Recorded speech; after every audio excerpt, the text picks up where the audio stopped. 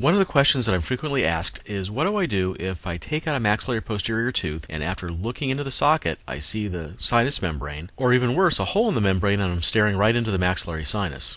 How you handle this initially is extremely important. If you manage it correctly, everything will heal and there'll be no problems. However, if you don't manage it correctly, the patient has a high chance of developing a chronic oral antral fistula, which will require at least one additional surgical procedure down the road in order to close the hole.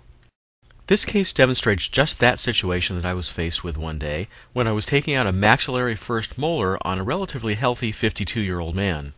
As you can see here, tooth number 14 is a distal bridge abutment, and the tooth has been root canaled. And you can see that there's a fair amount of internal and external root resorption in the area of the furcation, so this radiograph is fairly consistent with a fracture of one of the roots. I'm going to begin by sectioning the bridge between tooth number 12 and the pontic of number 13 Remember, if we section the bridge between 13 and 14, that would leave the pontic cantilevered off of tooth number 12, which would not be very stable and ultimately lead to its doom. The bridge was sectioned using a diamond disc, and we pick up the action from that point. So we now have the 13 pontic attached to number 14, and we're going to start by going in with a spade proximator to try to mobilize the uh, number 14 a little bit. And then what I'll do is I'm going to go in with the forceps and see what I can get. Just try to get the uh, the crown and the pontic out of the way, and I'm left with the residual roots of uh, tooth number 14. So I've sectioned between the palatal and the two buccal roots, and I'm going to uh, accentuate that a little bit more so I can get a good split between the roots, and then I'm going to section between the mesiobuccal and the mesiodistal roots uh, in order to section and separate those two. Once I've done that, I'm going to come back with a 46R elevator and separate the three roots from each other and elevate them out. And you see first the uh, uh, distobuccal root is fairly loose. Go back in with the spade proximator, advance that down the periodontal ligament space in order to separate the PDL fibers and also to expand the alveolus a little bit. I've already elevated out the distobuccal root, and I'm going to take a bayonet forceps and easily lift out the mesiobuccal root since it's been mobilized using the proximators. And then finally, I'll use a spade proximator to mobilize the palatal root, which I can then just grab out with a curved hemostat. You may remember from the pre-op radiograph that there was a fair amount of resorption of root and bone in the furcation area, and so when you get the roots out, you're going to expect to find a fair amount of granulation tissue in that site. And you can see clinically that that is the case. You can see there's a fair amount of granulation tissue in the furcation area around the palatal root especially, and so I'm going in with a curette and trying to loosen that up as much as I can.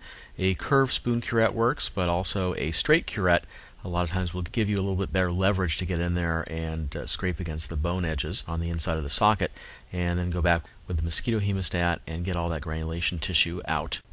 Once I thoroughly debrided the site, I flushed it out with some sterile saline and then took a look with a mirror, and what I saw was a small opening into the maxillary sinus. This was about a 3 millimeter bony defect, and the membrane appeared to be intact. Since the site was clean, now I'm going to go in with a gel foam wedge and I'm going to stuff it into the palatal root to completely obturate that opening into the sinus. And then I'm going to put another gel foam on top of that so that it's completely filling in the socket and will hold the clot in place so things will heal uneventfully. In order to hold that in place, I'm going to use a figure eight suture using 3-0 gut suture.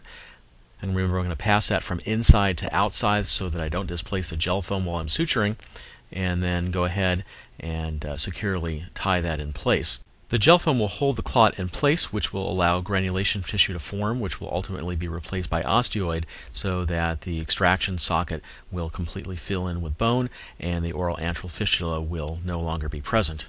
The patient was sent home with a prescription for amoxicillin 500 milligrams three times per day for five days, and that was to prevent contamination of the oral bacteria into the sinus. Because you're not treating a primary infection of the sinus, you can actually use any antibiotic that covers the oral flora, such as penicillin, cephalosporin, or clindamycin. He was also given a sinus instruction sheet, which I'll go over in a minute, and he returned at one week postoperatively and basically had a very uneventful post-op course. He had no complaints of any sinus pressure or pain or drainage, and very minimal discomfort afterwards. This is the appearance of the extraction site at one week, and you can see that it's healing quite normally. So now to review a few things about oral antral communication. First is that the maxillary sinus dips the lowest in the area of the maxillary first molar, and so that's the most common site for an oral antral communication to develop after a tooth is extracted. The best way to treat an oral antral fistula is to avoid it in the first place. And the best way to do that is to remove the tooth as atraumatically as possible if the tooth has fairly convergent roots, then a lot of times you can get the tooth out with just an elevator and forceps. However, if there are divergent roots, then it's going to be very difficult to do this without taking out some bone with it. So the best thing to do is to section the tooth into the three individual roots and elevate them out separately. If you see a fair amount of radiolucency around the roots indicating either root resorption or bony erosion, expect there to be a fair amount of granulation tissue and have a high index of suspicion that this granulation tissue may extend beyond the roots themselves into the floor of the sinus. So when you're doing the informed consent process with the patient, be sure to point that out to them and show it to them on the radiograph so that if it does occur, it's not a surprise. In fact, they might even be expecting it. And if it doesn't occur, they'll be relieved and leave your office thinking that you're a fantastic surgeon. If you do notice a small oral antral communication when you take a tooth out, go in there and carefully curette out the socket. You want to be fairly aggressive but be careful at the same time because if you don't remove all the infected tissue that's in there, then there's a good likelihood that the extraction socket will not heal and that oral antral communication will persist. Once the socket's clean, I would stuff it as tightly as you can with gel foam, or you can also use a CollaPlug. You don't need to use a bone graft, but if you prefer to do that, you can, but in most cases it's not necessary. You want to put the patient on a few days of antibiotics to cover the oral flora so that you don't secondarily contaminate the sinus and cause an infection. And you want to send this patient home with a sheet of sinus instructions. And if you do those things, most likely the site will close up by itself, just like in this case. But if at two weeks after surgery it's not looking like it's improving, if you're not comfortable managing and eventually closing an oral antral fistula, then the best thing to do at that point is to refer the patient to your trusty oral and maxillofacial surgeon for evaluation and advice on the next step to take. A lot of times, just by keeping the area clean and nursing it along, the fistula will close up by itself. However, probably about 10% of these will need an oral antral fistula closure procedure, which may or may not involve cleaning out the sinus as well. This is the sinus instruction sheet that I was referring to earlier, and this is what we give to patients when they either have an oral antral communication or we're doing a procedure in the sinus, such as a sinus lift. It first explains to them why there's an issue with the sinus and their surgery. Either the roots of the teeth were very close to the sinus floor or extended into the sinus, or because the surgery was actually in the sinus.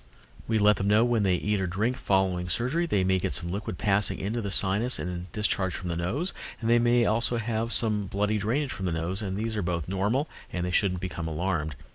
In order to speed healing, we'd ask them not to create any suction by smoking or sucking on straws because we don't want to create a pressure differential between the sinus and the mouth. For the same reason, we don't want them to forcibly blow their nose or clear their sinuses that if they have to do that, they can do it just gently. And we'll generally recommend that they get some saline nasal spray such as Ocean or Air, AYR, in order to soften the mucus so they, they can more easily get it out. We remind them of the importance of returning for all their postoperative visits. If they complain of any sinus pain or pressure and their medical history doesn't contraindicate their use, we recommend that they get some Sudafed or Afrin or neosynephrine spray in order to decongest the sinus and nasal passages. And if they were prescribed antibiotics, to be sure to take those exactly as directed, as well as any other medications that they're prescribed. So, generally, by following these principles that I've talked about, a small oral antral communication that's noticed when a tooth is extracted can be easily managed, and the patient will generally heal uneventfully.